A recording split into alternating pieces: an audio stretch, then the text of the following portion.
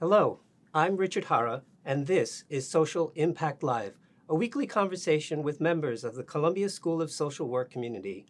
On our program today, we'll be talking about the health needs of Native and Indigenous people with our guests, Ariel Richer and Sutton King, who lead the Urban Indigenous Collective, a nonprofit for urban natives by urban natives.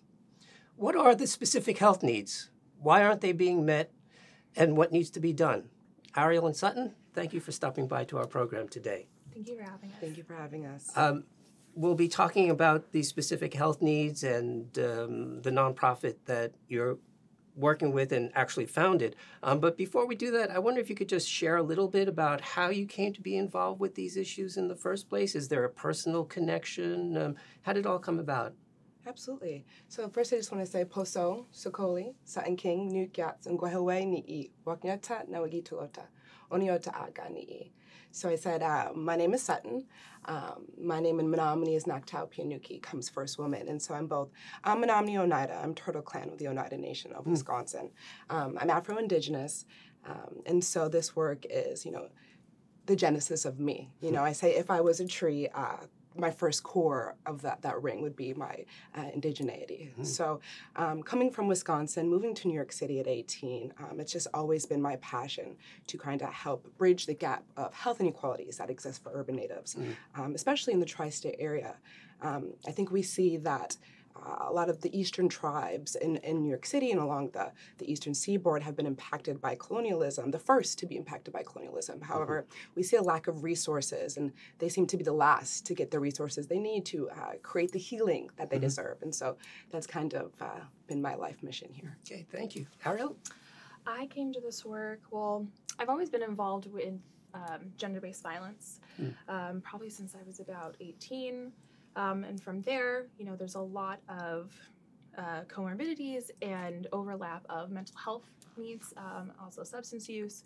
So I came to Columbia about seven years ago for my MSW, yeah. um, which uh, was a great experience. And then from there, I moved to DC and I was working with the Administration for Native Americans. I was working in program evaluation.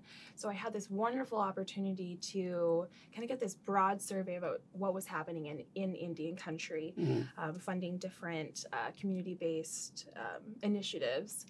And then from there, I was also involved in community organizing around um, uh, environmental concerns. Okay.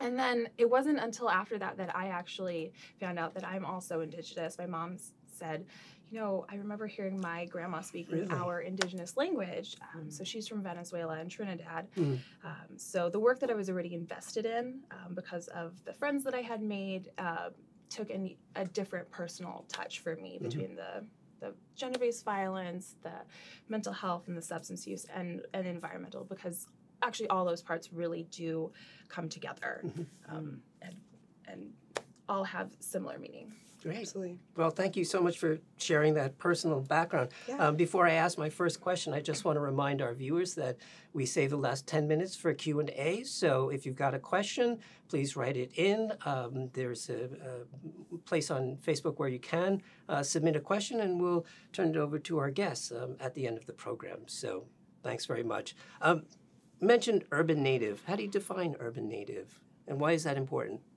Absolutely. Mm. So, you know, UIC has created their own definition of what okay. an urban native is. And so, if you look at the federal definition, it's not inclusive at all. Um, essentially, they want you to have a certificate of blood. Uh, they want to, sh- you know, right. you need to show your blood quantum. You know, mm. uh, natives are the only ethnicity besides uh, horses and dogs who have to actually uh, provide their blood quantum and, and mm. you know, to be able to be enrolled into their tribe yeah. or prove descendancy. And so, um, the definition for urban uh, natives uh, provided by UIC is um, being indigenous of the Western Hemisphere, so uh, North America, Central America, South America, um, the Pacific Islands as well, and the Caribbeans, um, and, and living in a metro area as well.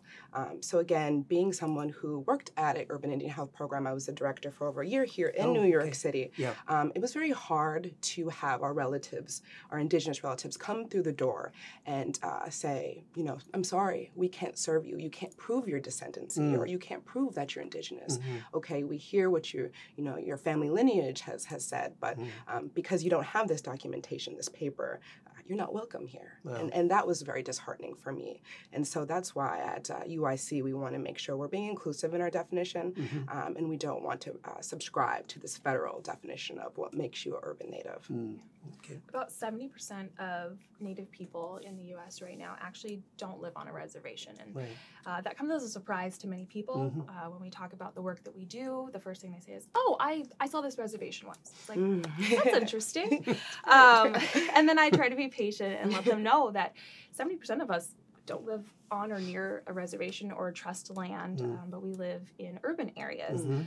Uh, further, only 25% of these urban areas have uh, are served by a an urban Indian health center. Okay. Um, Right. right now, Right. the closest ones are Baltimore and Boston, which is not helpful if you're living in New York City, because New York City has the most Really? natives of any other You'd have to go to area. Baltimore or Boston to get that kind of health care? Right. So you do have an urban program here in New York City. Okay. However, it's only outreach and referral. Mm. So if you're looking for provider care, you're not going to get that. Wow. And so that was another part of, you know, directing that program that was hard because, you know, we're saying come in, here's a safe space, but we're telling you to leave at the same Right. time, you know. And so it was very, you know, um, difficult to have people come in who wanted to be treated Mhm. by the program Mm. and weren't able to receive that care. And that's really when uh, myself and Jared Packard, who was also at the Urban Indian Health Program and now is with UIC, um, really identified these, you know, these gaps of Yeah. services and Yeah. decided, you know what, if we're not going to get funded to be able to provide these services that are so needed, and again, these are things we were hearing a lot of our Indigenous relatives say, you know, Mhm. I want to see a mental health therapist. Yeah. I want somebody who's Indigenous, Yeah. somebody who understands my background, my origin. Mhm. Um, and so we weren't giving getting the support that we needed to make that happen. Yeah. So we decided, let's do it ourselves. Well, I, you know, it's it's you know, not surprising then, um, given what you've told us, uh, that uh, there are all of these these disparities, right, and lack of uh, access to care and so on. I was looking at this community health profile for New York service area put out by the Urban Indian Health Institute, right? And I know you're familiar with this uh, information, but uh, compared to non-Hispanic whites, urban uh, American Indian Alaska Natives, right, in these counties are two and a half times more likely to not have health insurance. Four times as likely to participate in food assistance programs, nearly twice as likely to be diagnosed with gestational diabetes, um, twice as likely to receive late or no prenatal care, uh, and so on. So this is just a slice, but I mean, across the board, we're talking about basic health care um, and also mental health care as well, because I don't see anything here about that in this report. Absolutely. And that's something that we're focusing on right now as we've been implementing a community health needs assessment to really be able to understand the health priorities, mental health priorities in particular, um, of our community. Um, and I think that, you know, that's something that Ariel can speak to more. Um, but the first time we were actually able to implement that survey was Indigenous Peoples Day, and we had just an amazing turnout. And so many of our community members said, this is what we want to see. You know, we want providers. Um, and so they were really excited to, to take the survey, to participate. Um, so UIC has embarked on this wonderful community health needs assessment. Um, there's it's multi-part, um, like Sutton said. On Indigenous Peoples Day in October, we started off with the survey portion of it, which will run for about a year um, for the, the first wave of it. Um, and then we're also implementing a series of community health uh, forums. Uh, the first one is in two weeks, actually. March 14th. Yes. Okay, um. We've invited um, uh, Indigenous and Native community members. Um, we will be doing a series of um, focus groups and some key stakeholder interviews Mhm. to really understand what the not just the mental health needs, but the priorities and um, just get an understanding for the types of services that we hope to provide in the very near future. Mhm. Um, Yeah, you know, and I think that a lot of times you have nonprofits come into the space and, you know, they they create programming without consulting the community. And uh, we, we, we uh, view um, consult, consultation as, as protocol here. And I think that is the native way and the indigenous way to make sure that um, programming is built in community voice. Mm-hmm. And so we don't want to look at this data that's based on 2010 census data and say, okay, right. this is what we're going to provide you. And like you said, there's a lack of data surrounding the mental health portion. We want to understand this. And so, um, yes, uh, implementing the survey to have that quantitative aspect, but also the forum so that we, we're really hearing what our community uh, wants. So. Yeah. So, uh, my understanding is that um, you and two others uh, started this Urban Indigenous Collective. Um, it's fairly recent.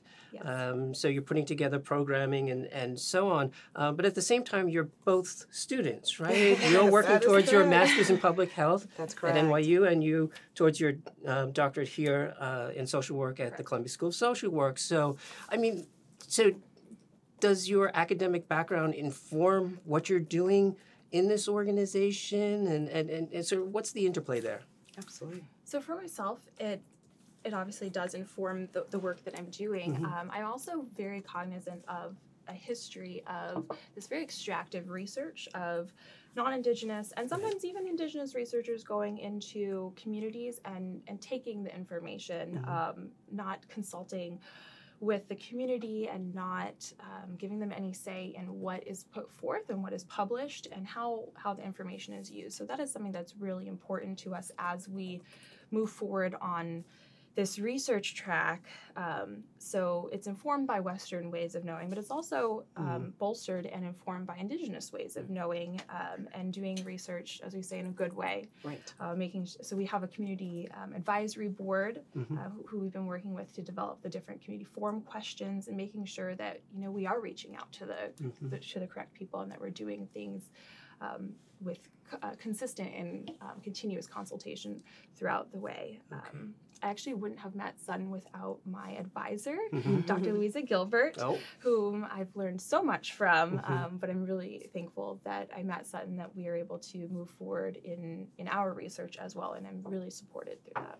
Absolutely, and, and, yeah, and so that introduction was made by a uh, mentor and boss to me at the time, Jennifer Spiegler, um, who's over at Kognito, and so um, at that time I was actually working with Kognito, uh, Indian Country Child Trauma Center, that's out of Oklahoma University, hmm. and OJJDP, and what we did together was develop the first culturally tailored uh, simulation that taught law enforcement how to engage with tribal youth without re-traumatizing them. Oh. So actually uh, going into this simulation, choosing what you want to say to this youth, mm-hmm. and depending on what you say, you get a response like a, a real human. And mm-hmm. so, um, by teaching the officers uh, historical trauma, intergenerational trauma, uh, sharing information about the ACE study and mm-hmm. and uh, the the adverse reactions that may happen in an encounter, and how mm. to have those conversations to avoid uh, arrest and, and get that youth to the help they need. So, um, could you give me an example of something that you would tell law enforcement? I mean, to do or to say that would sort of ease or make that connection Absolutely. to youth. Yeah. Yeah, and so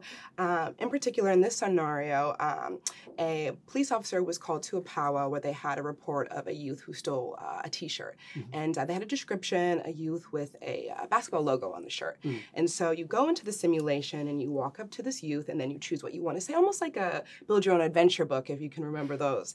And so um, basically, what we you know you the law enforcement has a choice, you know, so you can say, hey, stop there, what's your name? Mm-hmm. Or you mm-hmm. can say, hey, my name is Officer Harjo. Um, I'd like to talk to you for a 2nd mm-hmm. Hey, what's your name? You know, and, and depending on what you choose, you have a, a real time um, person who will come up and tell you, you know, that that was not helpful, this was helpful, this is why you shouldn't do this. Mm-hmm. Um, and sometimes you have to start over and, and do it again and practice. And I saw it a lot, especially through the piloting. Right. Um, but learning how to connect with the youth, being gentle and not mm-hmm. saying, hey, put your hands up, what's mm-hmm. in the bag. Mm-hmm. Um, and so we found given their past history and of Right. Absolutely. Sure. You know, and what's your name? Jacob Big Bear. Oh, I know your father. Senior, Mm. you know, Big Bear Senior. You know, making those personal co- connections. Mm-hmm. Um, and so it was really amazing to see. We implement, implemented that in over 80 tribes, uh, along with suicide prevention programming as Mm. well. Um, but that's kind of how I met Jennifer, and then how that uh, introduction was made. And then by that time, I had moved over to the Urban Indian Health Program. Okay, And so doing work that really tries to uh, adapt uh, interventions and so on, given a particular cultural background or context. Absolutely. Um, and currently, I'm working under um, uh, my mentor that's at University of New Mexico, and uh, she's Diné, Dr. Crystal Lee. Mm. And so we're actually funded by Gilead to look at the acceptability um, and, and knowledge of biomedical interventions, uh, PEP and PrEP, in Native American college students. Okay. And so this is the first time that this has ever happened, which is great. But I'm like, okay, so it's 2020. You know, why aren't we looking at the you know the cultural acceptability of these um, these interventions, which are so important when we know um, the STI rates uh, in natives is, is a, just a high prevalence of this. Okay. Um, and so this is something that we've been working on and just developed our, our survey. So So, mhm. so you're you're collecting information, and is this an example of the health needs that you're really focusing on in this population? Um, you know, through your work with the Urban Indigenous Collective. I think with Urban Indigenous Collective, our first our first area that we'd like to look at is specifically mental health, Mental uh, health, mental okay. health, and Yeah. substance use right. um, as well. Uh, just because there are some very specific needs, uh, as Sutton mentioned. Hmm. There's there's a history of historical trauma and intergenerational trauma. There's a shared loss of language, land, culture Mm-hmm. um, that all informs the ways that we respond to different interventions Mhm. and the way that we um, need interventions that are tailored for us and not just tailored for us but also specifically created for us so Mhm. that's i think that's our eventual goal um, we wanted to start off with talking circles i think i may let you talk a little bit about that Yeah, Hmm. and so that's something that we'd like to see um, to be able to provide that safe space for urban natives. You know, Mhm. we've got a lot of different natives that come in, uh, whether that's in university or just looking for you know work, and we want to make sure that there is a safe space. Again, we haven't seen any culturally tailored um, mental health um, services for natives in New York City or really the tri-state area, um, and so we want to be able to provide that. Again, like Ariel mentioned, with over a population of over hundred thousand. Um, we'd like to see at least one safe space for urban natives. Um, so we're, we're working on building that. And so again, it's really in its infancy, but we hope to make sure that with the data we're collecting, we're able to tailor the programming that really truly fits the needs. Yeah, so um, trying not to impose a framework on the talking circle from my perspective and saying, well, is it therapeutic or is it. So, what do the people who participate in these talking circles see as its benefit and value? Right. So currently we have not started the talking circle with UIC. However, I can talk about historically what Yeah. I've seen Yeah. um, uh, at the Urban Indian Health Program, and and for for a lot of the urban natives, it's it's very healing. It's um, helps them feel more connected to home and to also share that space with other other urban natives who Okay. understand the unique challenges that we face in this concrete jungle. Mm. Um, and so I think that um, just uh, that non-familial connectedness that a lot of us lack. Again, you know, I'm from Wisconsin. My family's over 750 miles away, and Ariel from Seattle. I mean, I don't know how many miles that is, but 3000 so we're you know really far from home. And so Yeah. another thing I always say is that UIC isn't just a team; um, we're really a family. Mm. You know, and it's so important to be able to connect with other urban natives Mm. in the space. And something else that we're working on is an app, and and so we'd like to to push that forward too to make sure that uh, when you come to a, a big city and you feel alone, you can you can connect and you can have that you know social support that's needed in in a city like New York City. Yeah. So you, you're you're doing uh, more indigenous-led research. You're thinking about programs that you can start developing right. um, through the urban indigenous collective and so on. So it's very exciting to sort of be here at the moment, right, where all Real of this comes together um, and so on. So um, so looking at you know the the health needs of uh, native and indigenous peoples, and I mean, we have some sense of uh, historically what's led to these disparities in care and so on outcomes things like that. But um, if you had a wish list of things that you would like to see out there available i mean what would that look like for this population? I would love to see a culturally tailored ambulatory care clinic. Mm. For urban natives. I- that is that is my dream, um, and I believe that New York City and the urban natives living here deserve that. You know, Mm-hmm. you have such a great standard when you look at the Seattle Indian Health Board and on the West Coast, and why haven't uh, the natives here on the East Coast uh, Mm. been able to to have something to support them in that way? The first to be impacted Yeah. by colonialism, the last to receive the resources needed to restore healing. What's the explanation for that? Do There you is- have one? there is no explanation for that. Interesting. Yeah.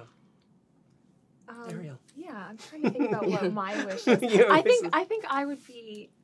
I, am just excited to see programming that every urban Native and Indigenous person here knows that they they have a place to go. That Mm. it, that they won't have to ask four, five, six people where can I get care, where can I get help, Right. um, and knowing that it's a safe, trusted place that. Um, Someone isn't going to say something racist, whether it's on purpose or by accident, but that they Mhm. can go somewhere and not have to deal with these other barriers, but they Mhm. can go there and and receive the care that they need Okay. um, and have this overwhelming support. So I'm very excited. for this. Well, yeah, I think uh, we can look forward to seeing you two and your group working on on making this a reality. So, um, if we could turn to some questions here. I have a question for both speakers, which may sound basic, but I genuinely want to know what is the distinction between the terms Native, Indigenous, and Indian?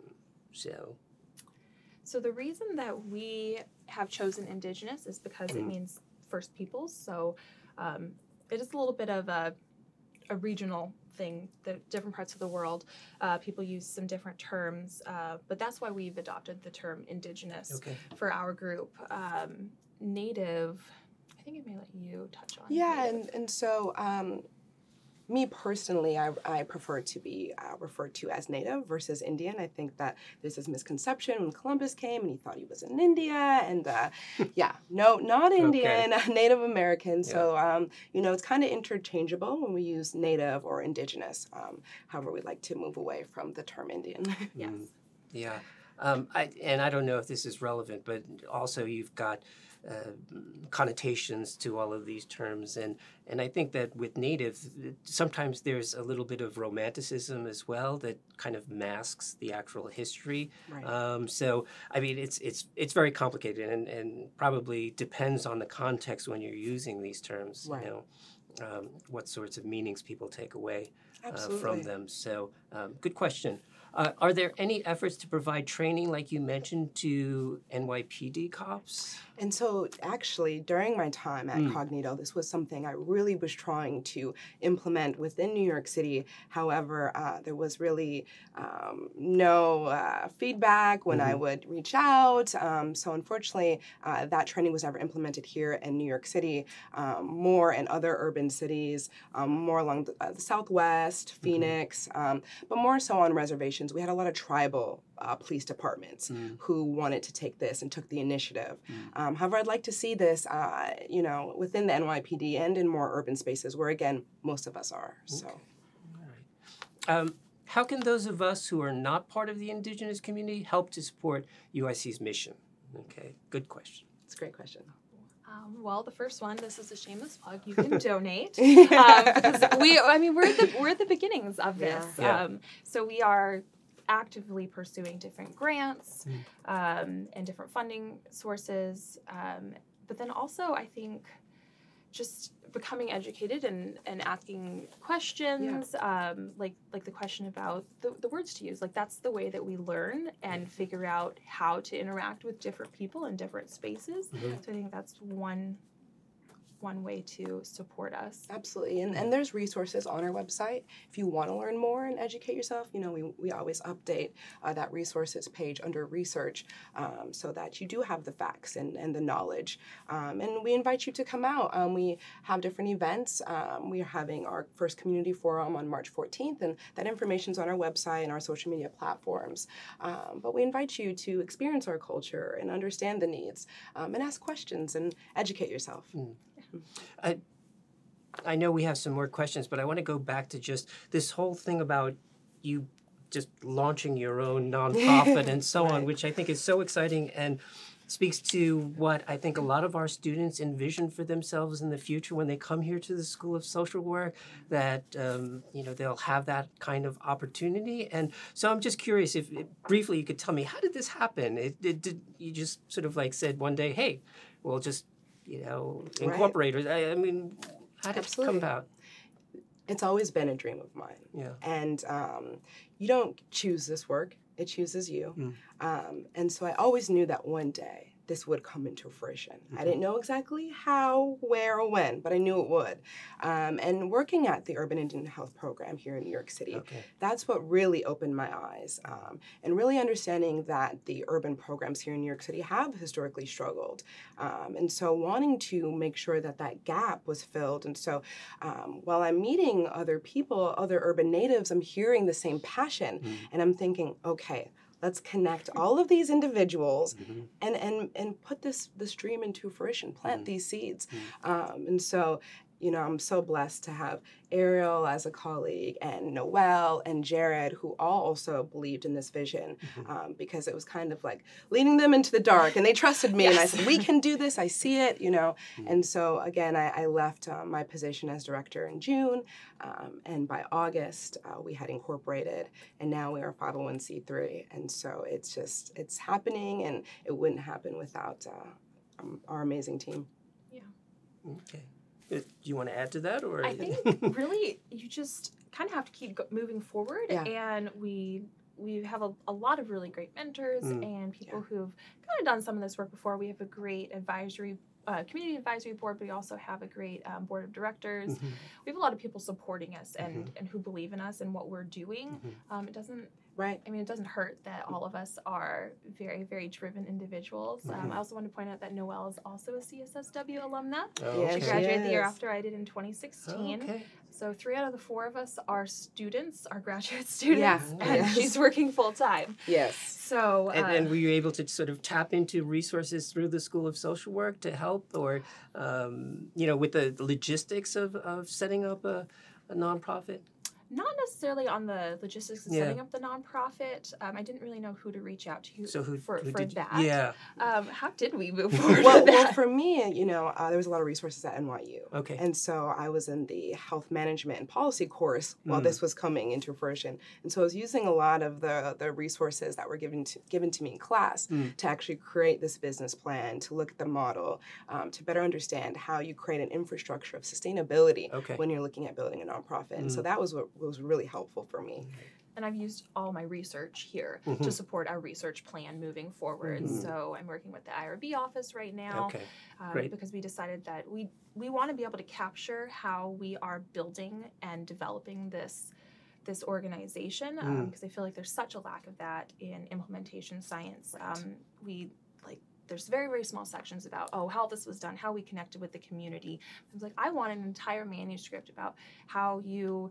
Um, reach out to communities how you have conversations how it's very very slow it's, Right. it's not a fast process Right. at Happen all overnight. you Yeah. read it in a manuscript and you're like Yeah. oh that's very quick but that's not at all how it is Yeah. um, i was i felt like there was such a gap in the nuts and bolts of actually building a community and doing community-based Right. research there's a lot of, of talk about it Yeah. but not the how to Yeah. Right, right. And showing how you practice, you know, consultation as protocol. That's something that's very important to us and, Mm. you know, the foundation of our work. Well, if we have time, I'll come back to the research question, maybe what you're doing individually, but I just want to check um, some more uh, audience questions. Would you speak to the importance and effect of a full and complete count for the 2020 census? What kinds of services could that help to provide? Is that a push? Is that a need? um, I, I, it's an absolute need to Yeah. be to be fully counted. Um, I think that many Native and Indigenous people people don't even realize that we're here. Something Mm. that we say a, lot Yeah. is that we're still here. Yeah. Uh, we're not a relic of the past. We're not an artifact, um, but Mm. we're we have very real needs and and we're very contemporary. We're not just we're not living in the past. People have this. I don't know archetype of us. Mhm. Um, so I think it'd be very important to be one fully counted so that we have access to the services that we need that we won't just be considered oh well you're just an asterisk you're just a very small Mm. percentage of the Mm-hmm. population um, but i think it will show a full force of of how many we are Right. I would agree. I would Yeah. agree. And again, you know, a lot of the programming that we see now is based off 2010 census data that we know is desegregated, that we know is just not accurate. hmm You know, and so having a complete count is so important when we're talking about uh, funding, you Mm-hmm. know, and program development. And again, uh, the resources are so badly needed here in the tri-state area. Yeah. Well, I know it's been said before, but we really need the numbers for now. I mean, We mean, do. um, unfortunately, uh, you know, people's image and my image of uh, Native Americans in New York is sort of related to this kind of urban myth about how they built the skyscrapers and things like that. But that's what, you know, from the 30s or something like that. Uh, what's happening now and what are the, the current needs, right, that need to be addressed? So, Absolutely. last audience question Are you finding some of the grants you're pursuing de- define native, quote unquote, in specific blood quantums or other identifications you find restrictive? Is that still a, a kind of um, problem? When you look at federal funding, Hmm. you'll see that particularly with Indian Health Service. Um, and if you are accepting uh, funds from IHS, um, then you are going to have to subscribe to the federal definition of a urban native. Hmm. However, that's something that we're striving to move away from so that we are able to welcome all of our Indigenous relatives in, in our door and in our Mhm. safe space. Um, so we're looking at a lot of different philanthropy funding. Yeah. Um, and so that's a little bit more broader in definition. Um, but that federal funding will definitely um, is not as inclusive as it should be. Yeah. Yeah. I mean, you want those federal dollars, but at the same time, you've got to meet all of those requirements and restrictions and document and everything else. So Absolutely. um, it's a trade off. And if you can find other alternate sources, right. of funding, obviously, that's that's very helpful. So, um, well, let's see. Uh, I think that concludes today's episode. Um, so, thank you, Ariel and Sutton, for joining us here today on Social Impact Live. It's been great having you, Great. you. and congratulations on your work with the Urban Indigenous Collective. Thank, Thank you. you so Thank you. Thank you all. Um, we'll be joined next week um, by uh, CSSW alumna Cynthia Roy, founder and CEO of Regional Hospice, to discuss current trends in hospice care. So, thanks very much for joining us today. Have a great week, and we'll see you all next week. Bye.